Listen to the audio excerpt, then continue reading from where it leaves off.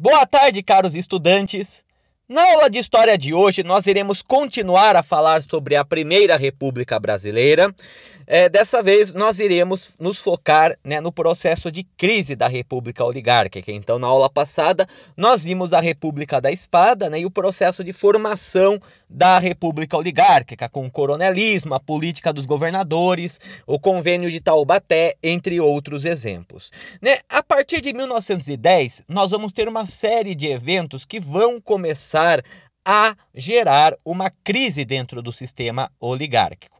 E né, nesse sentido, o primeiro presidente que nós iremos ter nessa fase será o Marechal Hermes da Fonseca. O Marechal Hermes da Fonseca, ele será bastante conhecido pelo projeto conhecido como Política das Salvações. Né, como nós vimos anteriormente, né, no governo Campos Salles e os governadores posteriores, né, o governo local e o governo estadual passaram a ter bastante autonomia, né, inclusive né, decidindo o controle do governo central a partir da política dos governadores e do coronelismo, né, chamada política café com leite.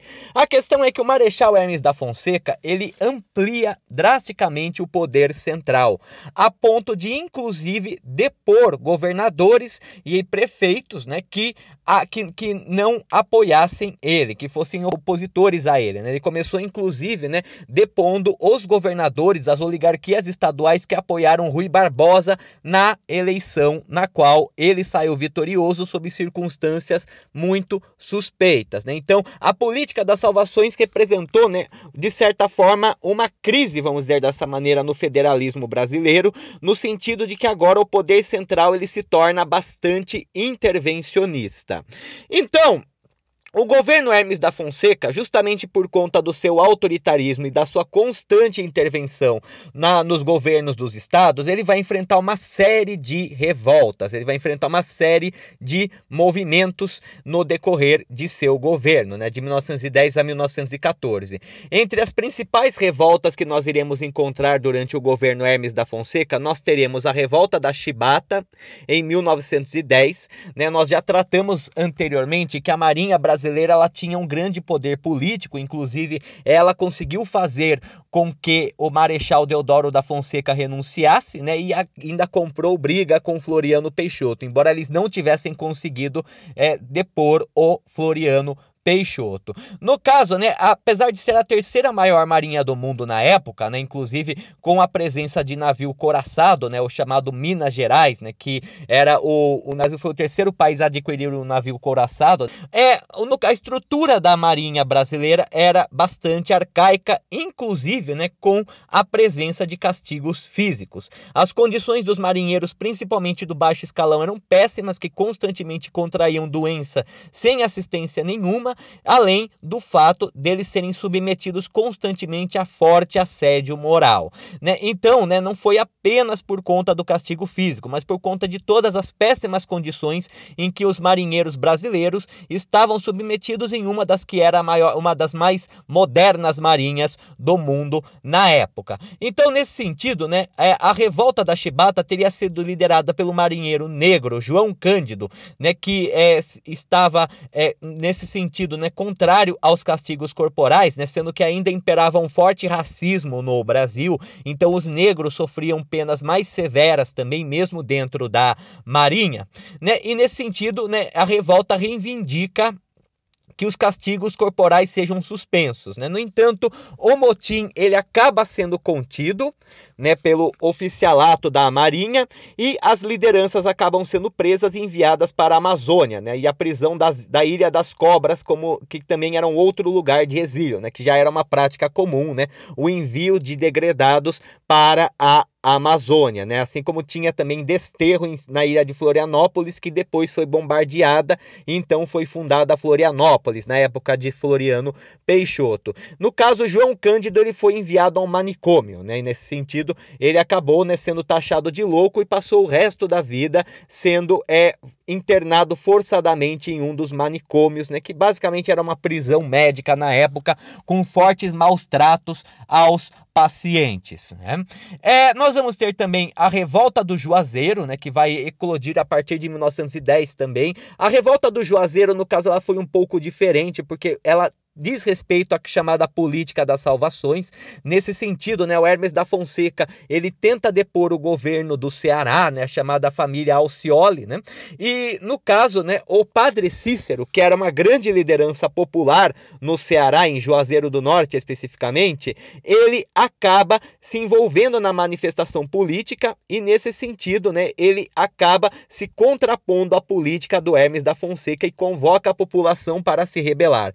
Hermes da Fonseca então envia o Exército Nacional para Juazeiro do Norte. No entanto, em uma semana foi construída uma muralha, né, chamada Muralha de Deus, que protegeu a cidade de Juazeiro do Norte. Né? Como o exército não conseguiu entrar em Juazeiro do Norte, né, a, acabou né, que a revolta saiu vitoriosa. Né? Nesse sentido, o padre Cícero ele acabou sendo excomungado pela Igreja Católica pelo seu envolvimento nas questões políticas. Né? No entanto, ele acabou né, se, é, se tornando um verdadeiro santo milagreiro né, na região de Juazeiro do Norte, né, inclusive até hoje havendo grandes peregrinações né, em, em direção à, à igreja né, e à estátua também de Padre Cícero, né, que, que segundo a tradição é responsável inclusive por, pela realização de vários milagres. Então, mesmo que o clero tradicional tivesse excomungado, né, a população tradicionalmente ainda tem um forte culto à figura do Padre Cícero. Inclusive, né, posteriormente, os coronéis locais eles vão acabar se apropriando da capacidade aglutinadora do padre né, e vão usar até ele como massa de manobra. Né? O Padre Cícero ele vai morrer apenas em 1934. Um dos eventos mais marcantes e uma das revoltas também mais marcantes que nós temos na Primeira República é a chamada Guerra do Contestado, que é bastante similar à Guerra de Canudos, no sentido de que foi uma revolta popular e messiânica também, no sentido de ter uma liderança religiosa que aglutinava pessoas né, sob a, a promessa de criar um reino celeste na terra. No caso, a Guerra do Contestado, que ocorreu de 1911 a 1916, ela ocorreu na região né, do Paraná e Santa Catarina, é um território que era disputado entre os dois estados, né, que era a antiga região de Palmas, que tinha sido recém-anexada é, depois de um acordo com a Argentina, né, e não havia ficado decidido né, em qual estado a região iria ficar. Né? Então, nessa mesma região, né, nós vamos ter é, a ferrovia americana Brasil Railway Company, né, que vai acabar né, criando um projeto de construção dessa região, além da atuação de madeireiras. Isso vai levar à expulsão de vários camponeses de suas terras, né, e nesse sentido, né, quando eles forem atravessar a, a, o limite entre Santa Catarina e Paraná, isso vai levar a conflitos entre os camponeses e também entre as tropas dos estados, né, entre as guardas dos estados. Então, né, nesse sentido, surge o beato, né, o monge José Maria, que acaba é, defendendo né, a criação de uma monarquia celestial na região do contestado. Então ele acaba né, usando um grande poder divino, né, um grande discurso divino nesse sentido, né, bastante cristão e messiânico também no sentido de salvação, no sentido de ser um messias, de ser um salvador para a população pobre, né,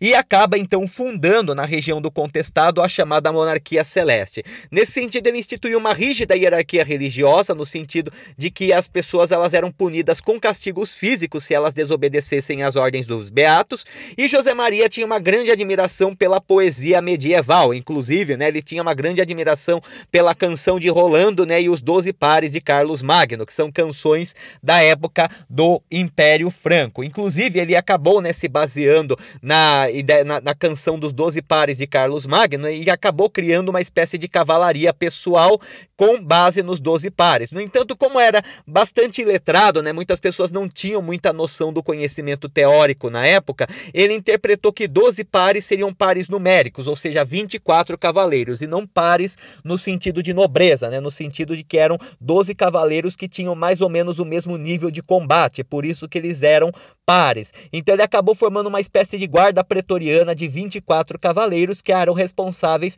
por defender o território e também por manter a ordem contra qualquer revolta ou qualquer manifestação contrária dentro da monarquia celestial. Né? Então era uma coisa bem uma, um, um, sentimento bem de seita, né? um bem um culto, vamos dizer dessa forma que acontece naquela região. Né? Ele instala uma teocracia na região da monarquia celestial no contestado e acaba armando os camponeses. Muitas vezes os camponeses não tinham armamento, né? Eles conseguiam armamento de sabotagem, às vezes umas armas muito antigas e até espadas de pau eram utilizadas pelos camponeses para defesa da monarquia celestial, né? Então daí as tropas governistas, ele, elas começaram a lançar uma investida, né, contra o território da monarquia celestial, né, já que os camponeses começaram a atacar as madeireiras e os funcionários da ferrovia, né? E, inclusive, né, a, a revolta foi tão difícil de ser contida que é o governo, o exército brasileiro, ele acabou se utilizando de canhões para atingir os camponeses que estavam armados apenas com pau e pedra, e também né, é, teria sido uma das primeiras batalhas na América do Sul que fez uso do avião, né, que estava sendo experimentado na Primeira Guerra Mundial, que acontecia mais ou menos contemporaneamente à Guerra do Contestado. Então, no continente americano, a primeira vez que um avião foi usado para combate foi na Guerra do Contestado.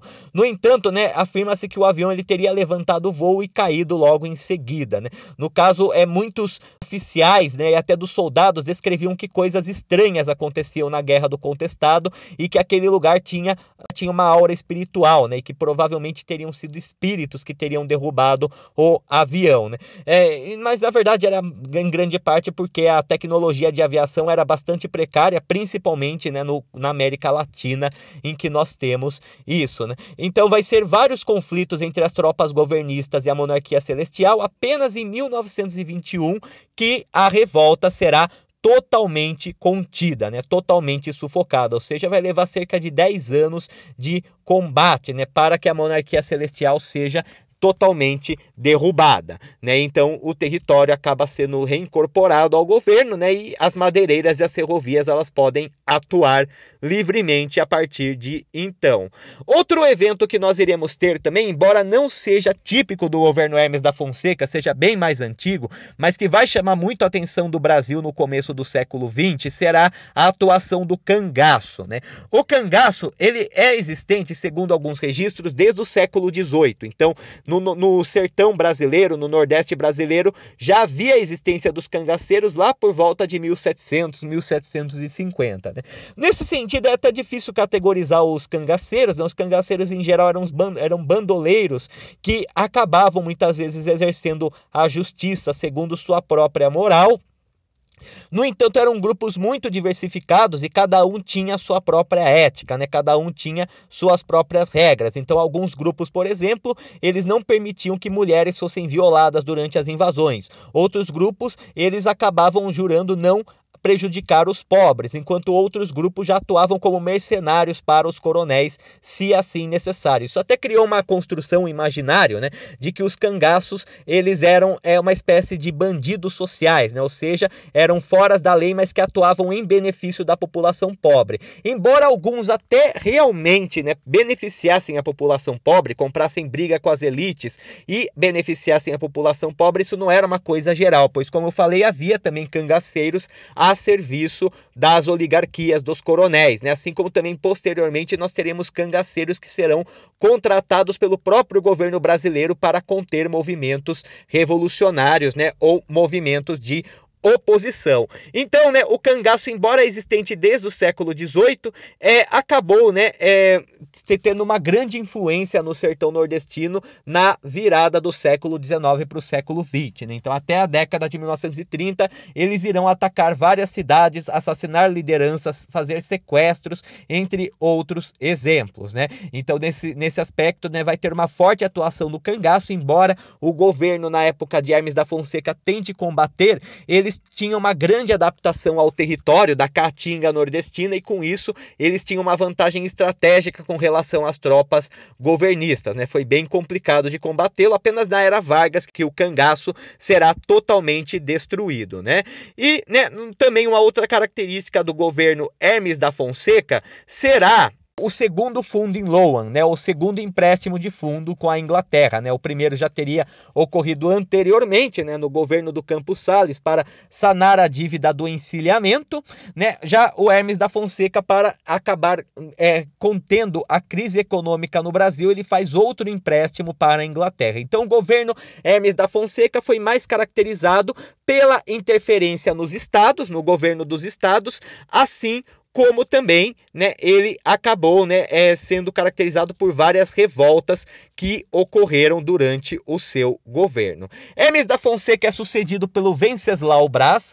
O Venceslau Braz ele vai governar o Brasil de 1914 a 1918. Seu governo irá coincidir totalmente com a Primeira Guerra Mundial, na qual o Brasil irá ser neutro na maior parte do conflito e apenas no final do conflito o Brasil irá se envolver na guerra, né? Então, né, o governo Venceslau Braz, ele é coincide com a Primeira Guerra Mundial, né? O Brasil ele se declara neutro, no entanto, né, com o bloqueio submarino que a Alemanha faz na Europa, né, qualquer navio que tentasse fazer comércio com a França ou com a Inglaterra seria naufragado pelos submarinos alemães, inclusive navios brasileiros, né? Com o naufrágio de navios brasileiros, né, o governo então ele declara guerra à Alemanha, né, aos impérios centrais, em 1917. Né? No entanto, o Brasil ele não chegou a enviar militares, soldados para a Europa na Primeira Guerra Mundial. Ele acabou enviando mais assistência, principalmente assistência médica, enfermeiros, medicamentos, suprimentos e também algumas viagens de escolta também. Né? A Marinha Brasileira passou a escoltar também alguns navios da Tríplice Entente de seus aliados, né, né quando eles acabaram acabavam navegando pelo Atlântico Sul. Inclusive, em um desses eventos, né, ocorreu um incidente conhecido como Batalha das Toninhas, né, no qual é, a Marinha, os, os oficiais da Marinha Brasileira, fortemente preocupados com os submarinos alemães, eles teriam percebido movimentos embaixo do navio e ia dado vários disparos no, no oceano, né, matando né, um cardume de golfinhos, né, a chamada Batalha das Toninhas. Né? E também, né, já no campo da política interna, o Brasil ele vai vivenciar um surto industrial, né, por conta da indústria europeia, da qual o Brasil era fortemente dependente, ter se paralisado por conta da Primeira Guerra Mundial, né, tanto porque a indústria acaba sendo direcionada para a guerra, como também pelo bloqueio alemão, que impede tanto a exportação quanto a importação de países da, da Tríplice Entente, né. Então, nesse sentido, para sanar a demanda que existia de produtos industrializados no Brasil, o governo governo faz um incentivo à industrialização, no entanto, uma industrialização substitutiva de importações. Como, de certa forma, o governo era principalmente dos cafeicultores, não havia um grande interesse em, em industrializar o Brasil definitivamente nessa época. Então foram abertas algumas fábricas apenas para suprir as necessidades, sobretudo de bens de consumo não duráveis, né? principalmente no sudeste brasileiro, que nós iremos ter com alguns casos também no sul e no Nordeste, né? Então, é, nesse sentido, nós vamos ter é, é, algumas famílias né, que vão acabar criando grandes indústrias em São Paulo, né? As principais vão ser a família Matarazzo e a família Crespi, né? Que vão ter origem estrangeira, inclusive que vão abrir várias fábricas nesse momento. E a classe operária em geral também era feita majoritariamente por imigrantes, sobretudo porque os imigrantes eles tinham um grande contato com a industrialização, né? eles tinham um forte contato com a industrialização na Europa. Então eles tinham uma qualificação maior para trabalhar nas fábricas do que os próprios brasileiros que estavam mais acostumados com o comércio e com a economia agrícola. Nesse sentido, né, como as condições de trabalho dos operários eram péssimas, chegando-se a 16 horas diárias e salários ínfimos, além também de não haver férias nem indenização por acidente de trabalho, começa a surgir no Brasil nessa época o movimento operário também. Né? Então, né, principalmente os imigrantes é, da Itália, da Alemanha, né, que tinham inclusive ideais marxistas e anarquistas, eles começam a propagar esses ideais entre as fábricas e nesse sentido nós temos a consolidação do movimento operário brasileiro. Vai surgir também uma outra tendência, né, além da marxista e da anarquista, que será anarcossindicalista, né, que era anticapitalista, contra ação política e que se apropriava dos sindicatos para organizar movimentos grevistas. Né? Então, nesse sentido, é até importante ressaltar que o anarquismo em geral ele é contra sindicatos, porque o anarquismo anarquismo ele é contra qualquer tipo de hierarquia. No entanto, os anarcossindicalistas, eles eram anarquistas que se infiltravam nos sindicatos, inclusive para fazer propaganda política e nesse sentido, né, conseguir vencer em número os comunistas, né? Então, é, inclusive os anarcossindicalistas vão organizar uma das maiores greves gerais que nós teremos na República Velha, que será a greve de 1917, que vai paralisar várias fábricas e que vai então obrigar o governo a negociar o aumento de salário e melhores condições de vida para trabalhadores, incluindo a redução de horas. Né? Depois da Revolução Russa de 1917, a Revolução Soviética, na qual a Rússia se torna um país socialista, né? e no caso os bolcheviques acabam então vencendo os mencheviques, né? e tem início a Guerra Civil russa nessa época, também o fato da perseguição que o governo bolchevique vai fazer aos anarquistas, né, começa a haver uma cisão no, no movimento operário entre os anarquistas e os comunistas, né, sendo que os últimos, né, os comunistas, acreditavam na essencialidade do partido na luta operária. Então vai ser o embrião do Partido Comunista Brasileiro, né, enquanto os anarquistas vão continuar atuando principalmente no anarco-sindicalismo nesse período. Né? Então, essas que seriam as características mais centrais né, do governo Venceslau Braz. A participação do Brasil na Primeira Guerra, embora de uma forma mais indireta, e a industrialização substitutiva de importações, que levou inclusive à formação do movimento operário brasileiro. Aí, né, nós vamos ter, né, posteriormente a Venceslau Braz, Rodrigues Alves, que irá vencer as eleições. Em 1918, no entanto, ele morre por conta da gripe espanhola, em 1918. 1919, que foi uma grande pandemia internacional que ocorreu nessa época e que foi fortemente potencializada pela Primeira Guerra Mundial, né? E que acabou recebendo esse nome de gripe espanhola porque nesse sentido o governo espanhol, o Estado espanhol foi o primeiro a fazer os relatos da pandemia, já que a Espanha ela estava de certa forma neutra no conflito, né? É, a Espanha acabou tendo maior liberdade para poder divulgar né, os dados da pandemia. Já os outros países que eram assolados pela guerra, como eles precisavam de material humano para a guerra, é, havia muita censura, nem muitos dados sobre a pandemia não eram divulgados. Então, no caso, a gripe espanhola ela não surgiu na Espanha, né? ela possivelmente teria surgido em outro lugar. Alguns falam que foi levada por é, soldados americanos que estavam na França, né? Mas é, o primeiro país que começou a fazer registros e medidas de contenção foi justamente a Espanha, por isso que recebeu esse nome. Depois que Rodrigues Alves falece, quem assume é o vice Delfim Moreira, que assume temporariamente apenas para convocar novas eleições, já que no caso Rodrigues Alves morreu sem completar dois anos de mandato, e quem acaba é, vencendo né, será o Epitácio Pessoa. No caso, o governo do Delfim Moreira será caracterizado pela participação brasileira na Conferência de Versalhes, né, que vai redefinir o mundo após a Primeira Guerra Mundial e que vai originar, inclusive, a chamada Liga das Nações, uma organização internacional para manter a paz mundial e também os resultados da Primeira Guerra Mundial. Então Epitácio Pessoa ele chega ao poder em 19, né? E no caso ele enfrenta uma grande crise econômica com a superprodução do café e política também com as contestações ao sistema da República Oligárquica. Nessa época, a gente, por conta da industrialização na época do governo Venceslau Braz, nós começamos a ter um aumento de uma urbanização no Brasil nesse momento. Né? Então, nesse aspecto, o governo Epitácio Pessoa, né, ele vai acabar enfrentando oposição agora de setores urbanos, da classe média urbana, que vão contestar o regime da República Oligárquica. Um desses movimentos será o chamado movimento tenentista. Né? O movimento tenentista ele teve origem com a chamada oficialidade jovem do exército, que eram os tenentes.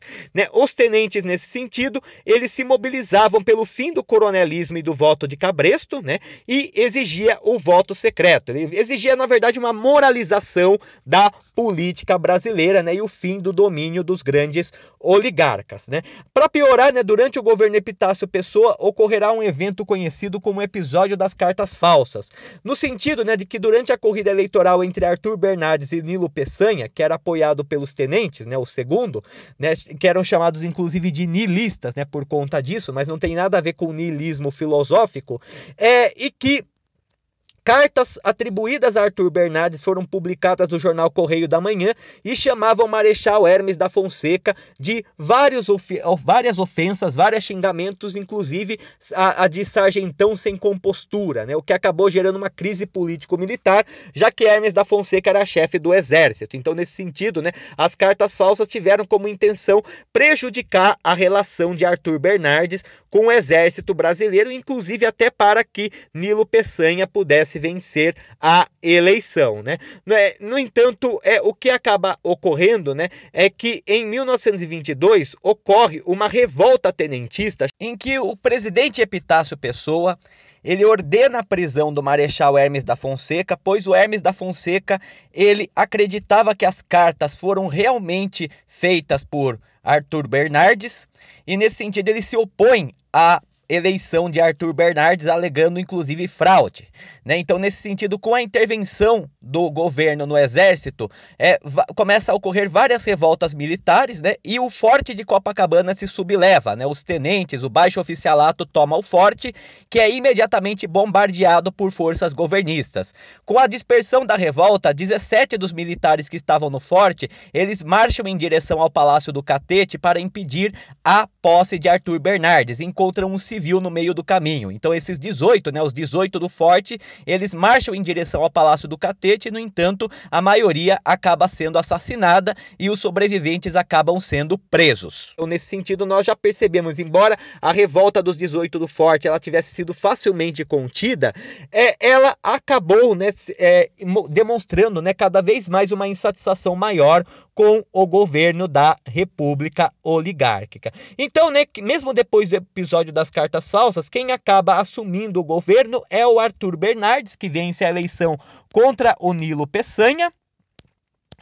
E que né, é, vai acabar né, vivenciando uma série de transformações no cenário brasileiro. Uma das primeiras que vai ocorrer é a transformação no campo artístico, né, pois em 1922 nós teremos a chamada Semana de Arte Moderna, no qual várias tradições artísticas distintas, né, a vanguarda, né, a vanguarda artística, vários é, é, músicos, escritores, pintores e escultores de vanguarda, né, que estavam fortemente baseados no modernismo europeu, sobretudo as artes europeias europeias, como o cubismo, né, o dadaísmo, o surrealismo também, o expressionismo, o impressionismo, entre tantos outros, começam a trazer esse movimento para o Brasil e como uma forma de consolidar esse movimento artístico é realizada então a Semana de Arte Moderna em São Paulo em 22. Nesse sentido, né, os artistas modernistas brasileiros, eles buscavam conciliar a ruptura com o modelo clássico, né, que era das vanguardas europeias, e a formação ao mesmo tempo de um estilo artístico identitário do Brasil. Né? Então, a grande preocupação preocupação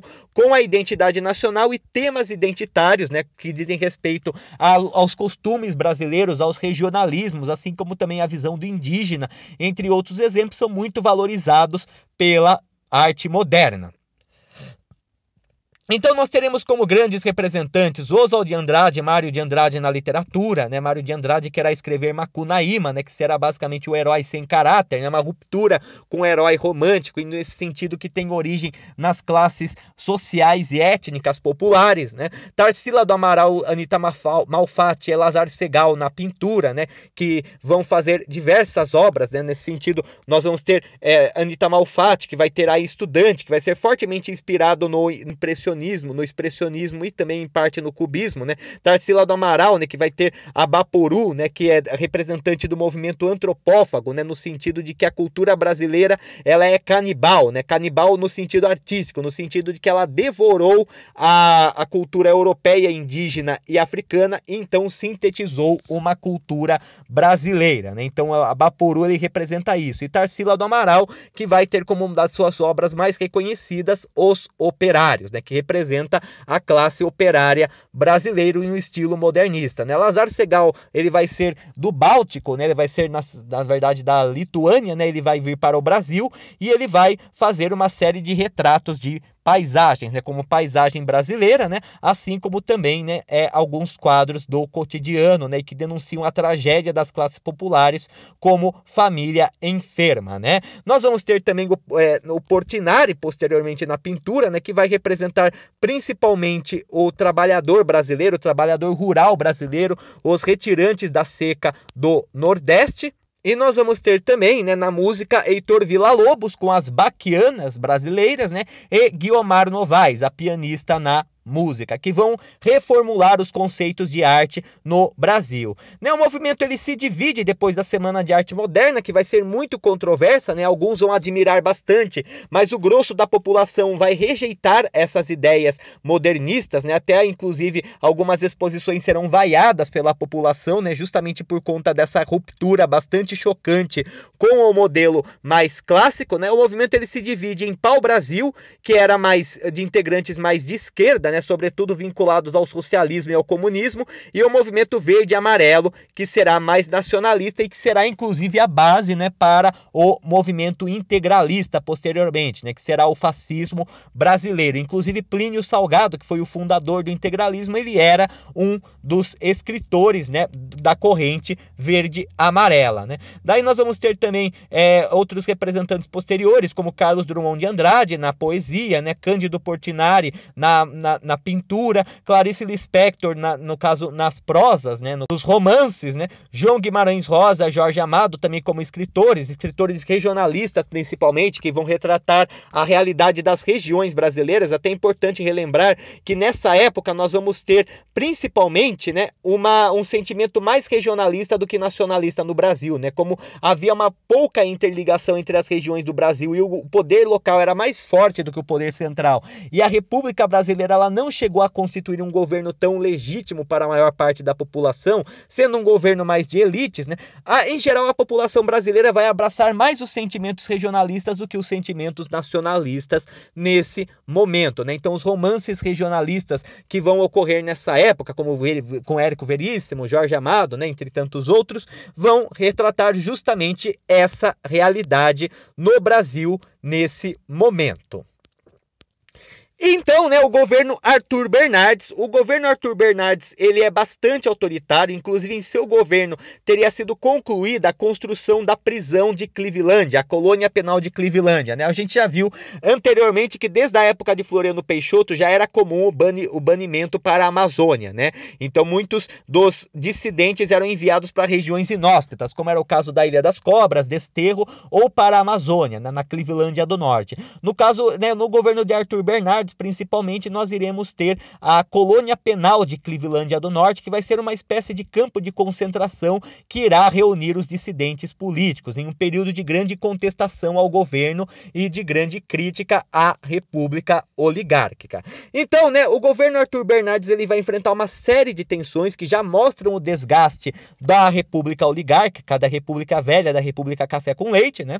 Nesse sentido, é, no, no governo dele vai surgir o Partido Comunista comunista brasileiro, né, decorrente do movimento operário, dos que tinham cunho comunista, vão fundar o Partido Comunista Brasileiro, que será ilegal, né, vai ser colocado na ilegalidade diversas vezes, no entanto, é um dos partidos ainda vigentes, mais antigos do Brasil, e o BOC, né, o Bloco Operário Camponês, que representava, no caso, uma esquerda mais rural. Né? Então, nós já com, temos, começamos a ter a, o desenvolvimento de movimentos socialistas, comunistas, né, movimentos de esquerda, de fato, dentro do Brasil que vão se contrapor ao governo da República Velha. Então não são apenas os tenentistas que buscam uma moralização da política, mas nós teremos também o surgimento de movimentos de cunho revolucionário no Brasil nesse momento. Em Arthur Bernardes, então, vai ocorrer uma revolta armada no Rio Grande do Sul em 23 contra o presidente de estado Borges de Medeiros, que vai levar o governo a interferir diretamente. Em 24, né, os tenentes que eram liderados por Isidoro Dias Lopes se amotinam e controlam São Paulo por 23 dias, né?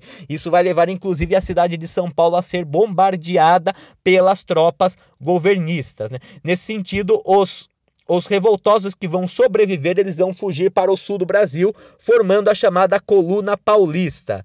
Em 24 também, o capitão Luiz Carlos Prestes, que era membro do exército, mas que era fortemente atrelado aos ideais tenentistas, ele acaba liderando um movimento de longa marcha chamado de Coluna Prestes, né? E que vai se encontrar com a Coluna Paulista, formando a Coluna Prestes Miguel Costa. No caso, a Coluna Prestes teve origem no Rio Grande do Sul e, né, nesse sentido, Luiz Carlos Prestes e seus soldados soldados, eles andavam por todo o interior do Brasil, inclusive usando roupas típicas gaúchas, mesmo que no calor do Nordeste ou do Centro-Oeste nesse período, né, e vão combater diversas vezes as tropas governistas. Inclusive, né, o governo vai contratar o cangaceiro Virgulino Ferreira, ou Lampião, para combater a coluna Preste Miguel Costa, quando eles chegarem ao Nordeste, né. No entanto, depois de várias, vários quilômetros andados e depois de vários confrontos, inclusive com várias baixas durante esse período, a coluna ela acaba se dissolvendo, né, e seus integrantes fogem para países vizinhos, né. Luiz Carlos Prestes, inclusive,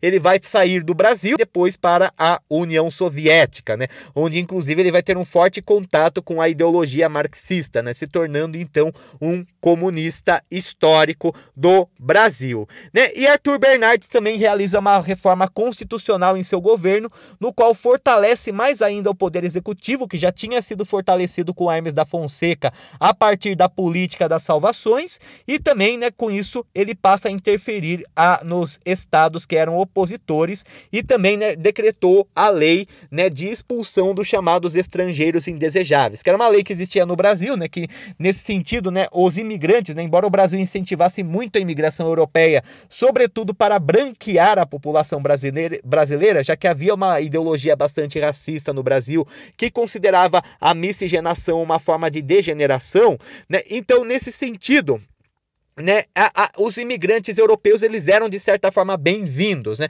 No entanto, aqueles que traziam ideias socialistas, marxistas ou revolucionárias, eles poderiam ser expulsos do Brasil com mais facilidade a partir dessa lei, né, do estrangeiro indesejável, né? Então, nesse sentido, né, eles poderiam ser expulsos nessa situação. Inclusive, isso vai ser bastante utilizado durante a era Vargas.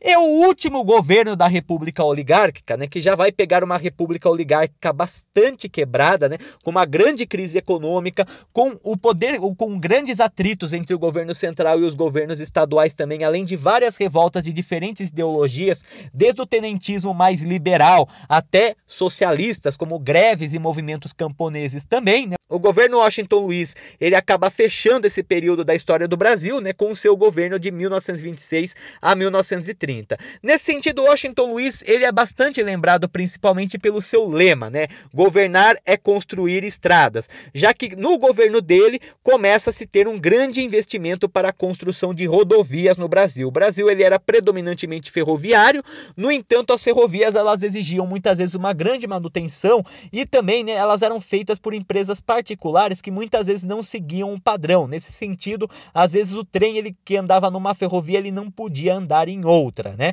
Então, nesse sentido, né, o sistema ferroviário, que também não abrangia né, totalmente o interesse brasileiro, nesse sentido, ele não foi tão investido. Houve vários planos, houve várias tentativas de interligar o território brasileiro por ferrovias, mas muitas fracassaram, ou por falta de investimento, ou por falta de interesse, ou então por projetos muito mal planejados, como o próprio caso da Madeira Mamoré, né, que teria sido feita durante a época da compra do Acre.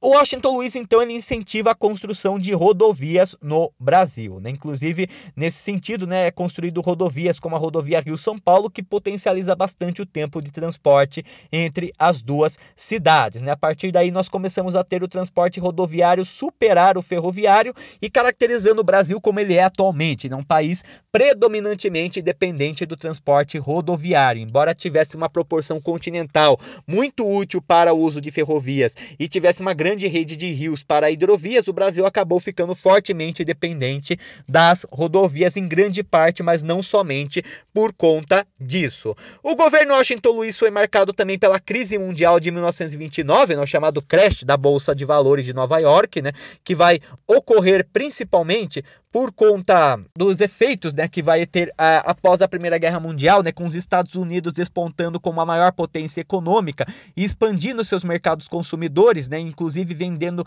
é, produzindo em massa e vendendo para vários países. No entanto, a economia europeia começa a se recuperar e isso leva a uma crise de superprodução nos Estados Unidos, que não tem para quem vender os produtos, que leva então ao começo da quebra de fábricas, o aumento do desemprego, a queda abrupta nas bolsas de valores e, o, e também uma decadência do mercado interno, né? E com isso os Estados Unidos também eles vão deixando de importar, né? E nesse sentido, nessa época, os Estados Unidos já superavam os países europeus nas importações brasileiras, né? O Brasil ele mandava boa parte do café para os Estados Unidos nesse período, no entanto, os Estados Unidos, como eles estavam em recessão, né? Eles se recusaram a continuar comprando café brasileiro, que continuou sendo produzido em larga escala. Né? Inclusive, nesse sentido, vai ocorrer né, um, um, um atrito entre o governo e as oligarquias estaduais, pois, né, como nós vimos anteriormente, havia o convênio de Taubaté. Né? O convênio de Taubaté determinava que, em caso de superprodução de café, o governo ele deveria comprar e estocar parte do café para que o preço do café não diminuísse drasticamente. No entanto, né, o governo ele se negou a comprar o excedente, né, o que gerou o atritos com a oligarquia, né? E também Washington Luiz ele vai acabar quebrando, ele vai acabar rompendo a aliança entre São Paulo e Minas, né? Embora ele fosse carioca, né, ele foi um presidente apoiado pelo Partido Paulista, né? Então ele deveria indicar, né, um um sucessor que deveria ser do Partido Mineiro, apoiado por Minas Gerais. Né? No entanto, ele acabou indicando o paulista, apoiado pelo Partido Paulista, Júlio Prestes. Isso vai gerar uma grande crise política no Brasil, né? pois o grande alicerce da República Oligárquica, o que mantinha a República Oligárquica funcionando, mesmo em tempo de crise, era a política dos governadores, era a política café com leite. Era justamente a aliança entre os dois estados mais ricos e populosos do Brasil, que era São Paulo e Minas Gerais Gerais e suas elites que manipulavam o jogo político de forma a fazer valer os seus interesses. Quando essa aliança acaba sendo rompida, né, você não tem mais uma coesão entre as elites brasileiras e sim um confronto. Né? As elites paulistas e as elites mineiras, se até então viviam um clima de aliança, agora elas passam a testemunhar um clima de conflito. Então, isso vai acabar levando né, ao rompimento da aliança entre São Paulo e Minas Gerais e os mineiros, né, os políticos mineiros, até os oligarcas mineiros, vão começar a prestar apoio para os opositores ao governo da República Oligárquica. Então, né, os mineiros vão acabar se aliando aos tenentistas, vão se aliar também aos gaúchos e paraibanos que eram contrários ao governo da República Velha, formando-se então a chamada Aliança Liberal, né, que vai ter forte apoio do movimento tenentista. Nesse sentido, né, a Aliança Liberal ela vai organizar né, uma candidatura própria que vai desobedecer às regras da política dos governadores e vai lançar como candidato o Getúlio Dornelli Vargas, né, que será inclusive né, um, é, um militar do Rio Grande do Sul. A eleição entre Júlio Prestes e Getúlio Vargas será muito marcante, inclusive vai ser realizados comícios pelo Brasil inteiro, né? Embora a eleição entre Hermes da Fonseca e Rui Barbosa já tivesse a presença de grande propaganda política e de comícios, no caso da Aliança Liberal nós vamos ter comícios em nível nacional, né? Então os políticos eles vão acabar viajando pelo Brasil inteiro, pelo sertão nordestino, para o centro-oeste, para o norte, para várias regiões, né? Para divulgar a campanha eleitoral, né? Então vai acabar, né? Como agora você não tem mais uma, uma eleição de confrades, vamos dizer dessa forma, né? Uma eleição com um resultado já pronto, podemos dizer dessa maneira, e sim uma eleição de fato disputada, nós temos então o surgimento de vários comícios eleitorais. Na eleição mesmo, né, nós vamos ter a vitória do Júlio Prestes, né? Que acaba derrotando a Aliança Liberal. No entanto, né, a Aliança Liberal ela vai considerar fraude nas eleições, né, e inclusive, né, o assassinato do governador da Paraíba, João Pessoa, por questões de família, por rixas de família, vai acabar, né, inclusive desencadeando a, a uma crise política na qual se falará que ele foi assassinado a mando das oligarquias paulistas. Nesse sentido, vai ocorrer uma série de movimentos, né, com apoio dos tenentes, com apoio de setores do exército, e de setores urbanos, que irá então levar à chamada Revolução de 1930, que irá derrubar Júlio Prestes e então colocar Getúlio Vargas no poder, findando-se o período da República Oligárquica e dando início ao segundo período da história republicana brasileira, que será a Era Vargas, que nós iremos então tratar posteriormente. Uma boa tarde a todos e tudo de bom.